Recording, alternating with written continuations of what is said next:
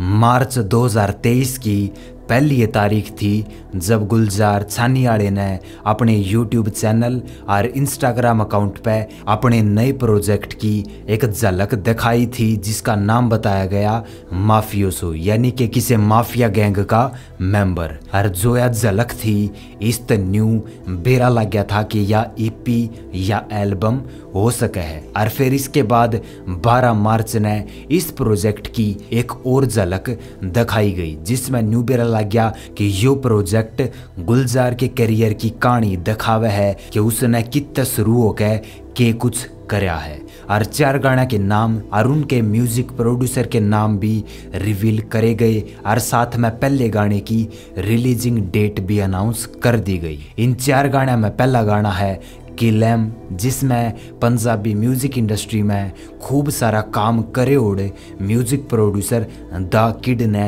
Music दिया है, जिसने सिद्धू मूसेवाले के भी कई गाने में म्यूज़िक दिया है। और गुलजार के पहनावे ने देख के, और म्यूज़िक प्रोड्यूसर ने देख के, इस गाने तय एक हिप हॉप ट्रैक होने की उम्मीद लग गए है। इसके बाद दूसरा गाना डैड जिसमें फिर तय द किड का म्यूज़िक है।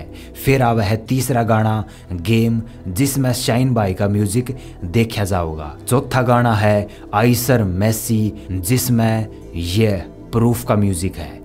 ये तो थे चार गाने। इसके बाद गुलजार ने इस एल्बम का पोस्टर भी शेयर कराया है, जिसमें टोटल पाँच गाने देखे गए हैं। मतलब कि एक गाना इब सरप्राइज़ रखा गया है, उसका नाम रिवील ना कराया है, बस न्यू बताया गया है कि इस गाने में भी द किड का म्यूज़िक है। इबिन पाँच गाने में तय, पहले गाने किलैम की रिलीजिंग डेट तरी गई है। तेईस मार्च, और फिर थोड़े थोड़े इंटरवल पे एक महीने के भीतर बाकी के गाने भी रिलीज़ होने की उम्मीद है।